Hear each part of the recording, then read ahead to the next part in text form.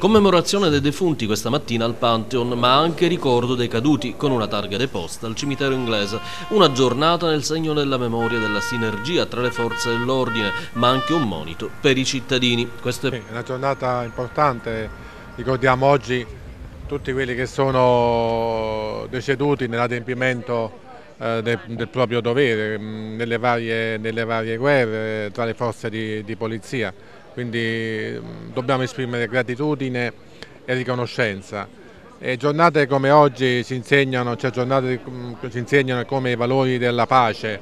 della giustizia non siano valori dati per scontato, quindi bisogna sempre impegnarci eh, tutti noi a, fine di garantire il mantenimento della pace, della giustizia, della legalità. Ammiraglio, spesso si ricordano, sembra che i valorosi delle guerre, delle forze dell'ordine stiano sulla terra, tanti, tantissimi sono quelli invece che periscono in mare, che lavorano in mare. Sì, è un'attività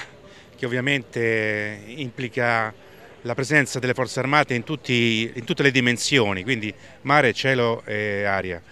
È giusto oggi ricordare i nostri caduti perché in un mondo così frenetico che è sempre in continuo movimento eh, è bene eh, fermarci e ricordare un momento i, tutte le persone, militari e non, che sono caduti per la nostra bandiera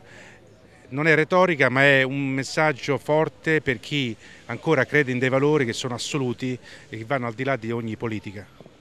La città ricorda i propri caduti in eh, tante occasioni, questo è un momento particolare. Un momento assai significativo, simbolico ma eh, di profondo senso, la famosa pietas, la comunione con i nostri defunti, la città, le forze armate che si raccolgono intorno alla memoria anche di chi eh, ha difeso eh, la pace, ha difeso e ha compiuto fino in fondo il proprio dovere, quindi un bellissimo momento da condividere con tutta la città.